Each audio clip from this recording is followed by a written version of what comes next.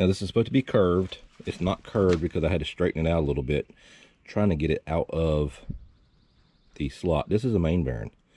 This main bearing basically got locked up onto the crank.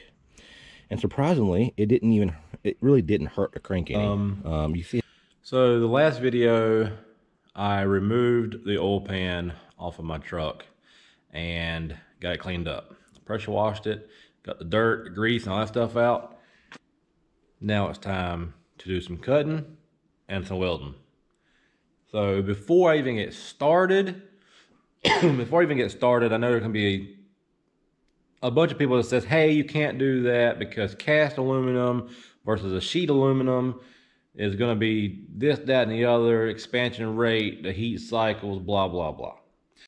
Well, I'm not worried about any of that because this is just going to be a short-term fix. I'm not trying to spend $1,200 right now on an oil pan when I can weld aluminum. So I'm going to weld it on the outside and on the inside. It's not gonna, it's not going to leak. It may crack over time, but the engine the engine is stout. Uh, it's not like um, it's not like the you know something that's going to be flimsy or doing a lot of movement and jerking and, and stuff like that, and um, just flexing in general. It doesn't even have pressure. You know, it's not like I'm building a, a you know some kind of air pig or something, or an air tank. It's literally just there to hold the 10 gallons of oil, nine and a half gallons of oil. That's it. So I think it's gonna be fine. I only want to run this thing for probably like a thousand miles at most, um, unless it's not leaking, and then I might just leave it on there for a little longer. Yeah, whatever. But right now, I'm not trying to fork out twelve hundred dollars for an oil pan when I have aluminum right there and an oil pan right here that's usable. What I'm gonna do, now I'm not cutting all this out. Um, I am gonna have to, I am just gonna do it like a, a cardboard template on this piece and come out, but I am gonna cut this chunk out um, straight down and over all the way around and then all the way to this side and back up. basically that gets rid of all this stuff here where it used to be a drain plug. I have a drain plug here, another drain plug here. Don't worry, I can still check my, I can still drain my oil. Um, but it also gets rid of this bad uh, crack right here and gets rid of all this stuff here that I ain't gonna worry about fixing. And instead of putting cardboard template here and cutting it out to this shape, it's, it's just gonna be a little bit faster, I believe if I just go ahead and chop all this out all the way around. And so at least I'll be working with one, two, three flat pieces, um, mostly flat pieces. And then I'll just have to worry about this top section. I'll just have to worry about this top section here, you know, cutting this piece right here to kind of fit. I got to clean it all up first before I kind of cut it and trace it. But then I'll, I'll just take and weld this crack up here, excuse me, and weld this crack up right here. These scrapes are not from me. This is from the accident itself. What I'm gonna do is I'm gonna take the skill saw, that little booger right on, and I'm gonna run it down like that, and then all the way around and down like that. Uh, if you plan to do this yourself with a skill saw, no matter what you're cutting as far as aluminum, I'm going to use a regular wood blade because the wood blade will will cut aluminum fairly good, fairly easy. Um, just it's really loud, like super loud. You got the resonance, a resonating sound through this, and then the resonating sound through the blade, and it's just really loud. So wear ear protection, and obviously wear eye protection and you know you'll see it uh, what i'm gonna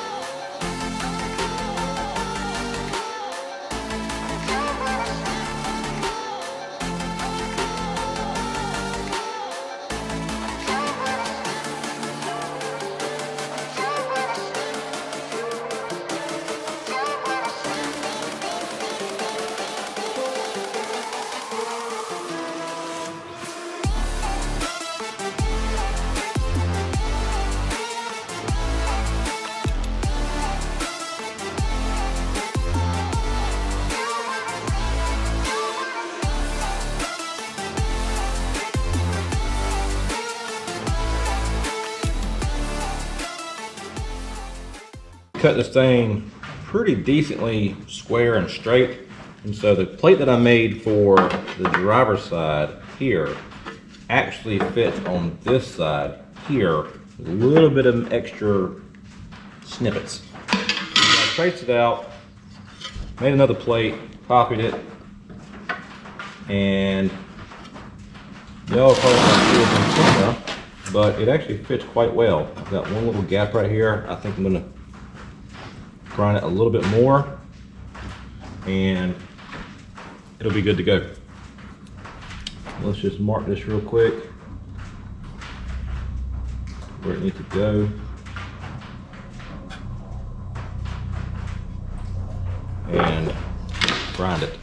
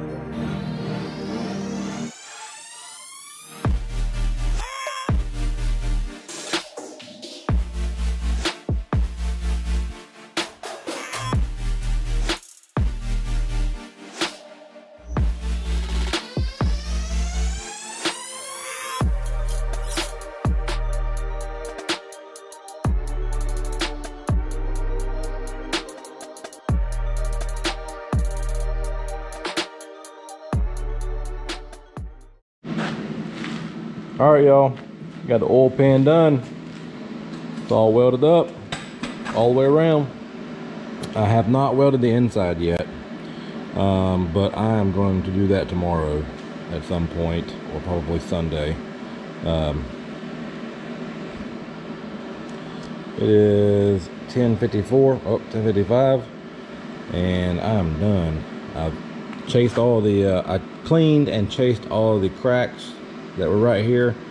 I'm not worried about that. I've welded up plenty of cracks in oil pans and transmission pans, um, and they've always been fine. So we good. Now, like I said, I'm gonna weld the inside up. It's gonna be double welded, um, inside and out. I'm not actually worried about it leaking now the way it is, but I want this thing to last a long time because I think I'm gonna end up just leaving it and uh, hoping for the best, I reckon. Don't really know. It don't look pretty, but it'll hold. This stuff was aggravating as crap. Not only were they using, you know, dirty aluminum here, it's got, looks like grinding marks all over it. Little specks and stuff. Welding, I don't know what else. Well, I don't, I don't really know what it is. But anyway, uh, yeah, some of it was pretty decent. And then some of it just welded like poo. Especially all this right here. I know it would because cracks hold the uh, oil or whatever you know whatever the pan is. Don't even it don't really matter what it is but um i'm tired y'all. Uh, it was holding oil. I ground it all out. You know basically just take the cut off wheel and just cut a slit through the crack so you can get all the junk out of it. Um, and I did this part pretty much last. I did all this first that was a lot cleaner which is still wasn't all that clean. But I did all this and all the way up to here and then skipped over to here and did all this and did all the sides. And that put enough heat in this to help bake that oil out. Um, there's really no right way to do it but uh, you could do it with a torch. Uh, heat all this uh, aluminum up real good and it will bake that oil out of there um, but I just used the heat from the weld you know from welding it. And uh, yeah cleaned it out with brake parts cleaner multiple times. Grind it out real good clean it again and then just put the towel on it. But anyway that will be the end of this video because I am tired. It is late. I'm going inside to eat a bowl of cereal or something. All right y'all. That's it. I'm out of here I will see y'all later